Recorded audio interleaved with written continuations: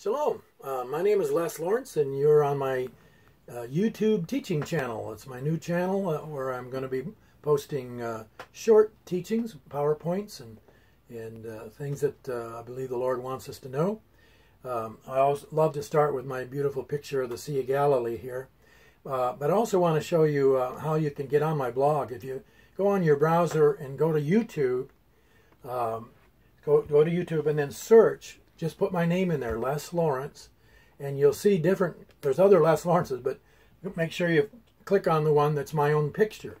Uh, when you cl click on my picture there, uh, it'll take you to, uh, oops, there we go, take you to my, now I'm doing something different, sorry I got messed up. there, take you to my, uh, my new channel, and uh, on there you'll see various teachings I've done in the past. So I just encourage you to to uh, do that. And also, when you're there, please subscribe. Uh, all right, let's get into the teaching. I don't, don't want to take waste a lot of time. I pray that the Lord will give us some real understanding from the Word. I'm talking about timing uh, today, that timing is everything. And uh, I, I, need for you to understand something, and I'll be giving several scriptures about this. Uh, but uh, let's start with, with the fact that the question is, why was Jesus born? We we understand a lot of the teaching about it, but in the general sense, the main, the big picture of why Jesus was born was he was born to die, right?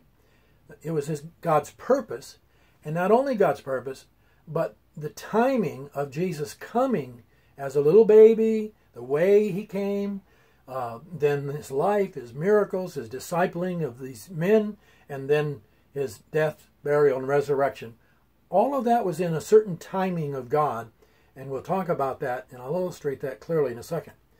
Uh, now, understanding timing in the Bible, uh, if you do, you'll find a key to unlock prophecy. Many mistakes are made in prophetic analysis by missing the timing of events. Here's a great example of that from Psalm 102. Psalm 102 I call the Holocaust Psalm. Just read it. Read the first 10 verses. It's a graphic description of the Holocaust. And it's my position that before the Holocaust in the in the 1940s, before that in history, when you would read Psalm 102, you would read it sort of as a general promise, a, a generic promise that the afflicted can cry out to God and He'll hear their prayers. But after the Holocaust and, and it became understood what happened there, you'll see that this psalm is not only a generic promise to the afflicted, but a specific promise related to the Holocaust and timing. Because after describing the Holocaust, it goes on in verse 13 and says, Now the time to favor Zion has come. Yes, the set time. So it speaks of a set time to favor Zion, which was only after the Holocaust. Because from 70 AD, the destruction of Jerusalem by the Romans, until the Holocaust, Israel never won a war. After 1948 until the present, Israel has never lost a war. So there's a major change of timing in God. Israel was under judgment for 2,000 years, and then he turned from judgment to favor. Now we're seeing Israel in favor and restoration and blessing. God is with them, and, and we're in a whole different prophetic time uh, according to the Bible. So, uh, so timing, that's a great example of of how we need to read the Bible and understand the timing that's being spoken of. Now, uh, here's another key verse from Acts 3, uh, starting at verse 19. Repent therefore and be converted, that your sins be blotted out, so that times of refreshing, times of refreshing, may come from the presence of the Lord. By the way, uh, the times of refreshing uh, come from the presence of the Lord. It's the Lord's presence with us that brings the refreshing. It's not just that there it's not just that he pours out refreshing from heaven, but when he's with us, when we're in a relational uh, basis with, with Jehovah God and with Jesus, with the Holy Spirit, then we're refreshed. Hallelujah. So refreshing, that times of refreshing may come after we repent, our sins are blotted out, then there are times of refreshing. That's timing. And that he may send Jesus Christ, who was preached to you before, whom heaven must receive, or in other words, retain Jesus has to stay in heaven, look at this underlined part, until the times of restoration of all things, which God has spoken by the mouth of all his holy prophets since the world began. So the timing of Jesus' second coming is actually, uh, a, again, a timing issue. It's not just random. God has a plan. Now, here's another verse, Acts 17, 26. He made from one blood every nation of men to dwell on all the face of the earth, and has determined their pre-appointed times and the boundaries of their dwellings. I like to say that God is not a globalist, he's a nationalist. He actually has nations with boundaries and actually the timing for those nations to exist. You know, where's the Greek Empire? Where's the Persian Empire? Where's the Babylonian, Roman empires? They're all gone because their time is up. We are now in the timing of God's restoration of Israel. Hallelujah. So truly, these times of ignorance God overlooked, but now commands all men everywhere to repent. That in the dispensation of the fullness of the times, Ephesians 1, he might gather together in one all things in Christ, both which are in heaven and which are on earth. Again, the fullness of times. So I'm just I'm drawing your attention to the timing of Scripture and God's promises are connected at times. Uh, 1 Timothy 4, the Spirit expressly says that in the latter times some will depart from the faith, giving heed to deceiving spirits and doctrines of demons. That's a timing thing. 1 Peter 1, he indeed was foreordained before the foundation of the world, but was manifest in these last times for you. So even in all of history of 6,000 years of biblical history, the, the last 2,000 years are considered the last times. The first 4,000 years uh, and then the last 2,000 are the last times, and we're in the very last of the last times at the end of that. And of course, the 6,000 years to six, uh, a, a, day is as a thousand years with the Lord. And you can think of that as six days, and the seventh day is the, the reign of Jesus and so forth. Well, uh, now let's get a little more specific and just look at Jesus for a minute. Look at this. His hour had not come. This is a phrase you see several times in the Gospels. And have you ever considered the times the crowds tried to kill Jesus that failed? The reason they wanted to kill him was usually for blasphemy, because they perceived that he was claiming to be God, which he was. Uh, but there's at least seven times in the Gospels, other times than the crucifixion, where they tried to kill Jesus. Let's look at a few of those verses. John 7, they sought to take him, but no man laid hands because his hour was not yet come. Uh, John 7:44, a few verses later. Some of them would have taken him, but no man laid hands on him. Uh, John 8, these words spoke Jesus in the treasury as he taught in the temple, and no man laid hands on him, for his hour had not yet come. They, uh, John 8:59, they took up stones to cast at him, but Jesus hid himself and went out of the temple, going through the midst of them, and so passed by. They actually had stones to kill him, and they were not able to because it wasn't the timing for his death. Here's another one, John 10. They took up stones again to stone him. Uh, John 10 39, they sought again to take him, but he escaped out of their hand. Uh, another one, this, was, this one is really, really cool. This is from Luke 4, and it's, it's in, the, this one takes place at Nazareth, where he was raised. And outside of Nazareth, there's this great cliff.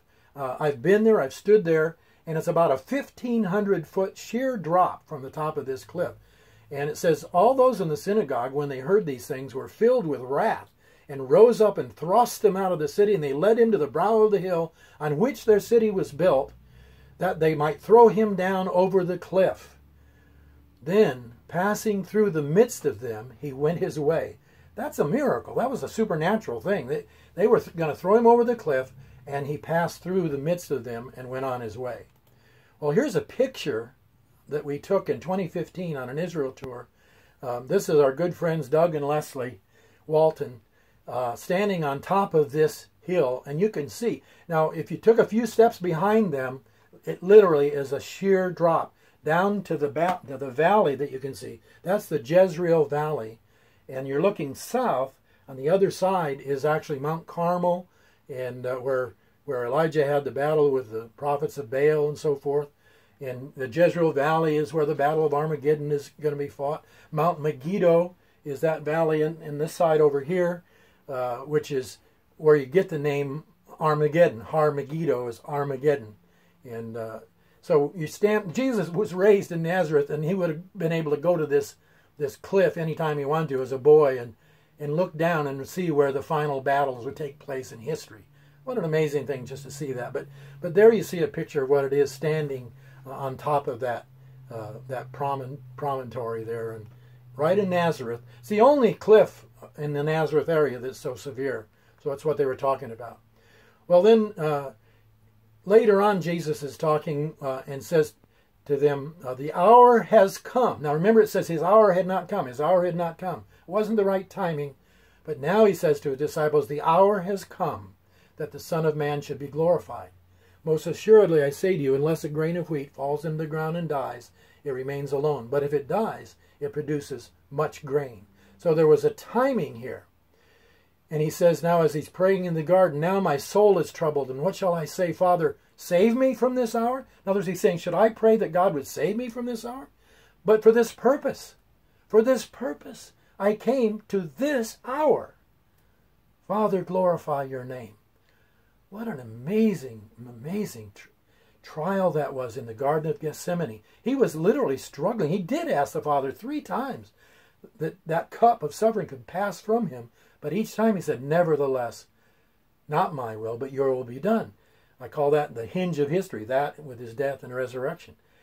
But he actually said, My soul is troubled. In other words, in his in his self, in his own will, he's troubled. That's why he had to say, not my will, but your will. That's how you defeat that soul temptation, that selfish temptation, by saying, Not my will, but your will be done, Lord. So Jesus had to face that, he had to deal with it. But notice the timing words that it's it, that it's actually an hour. All the hours of his life, many times they would have killed him before, but it wasn't time. Wasn't the right setting, the right timing.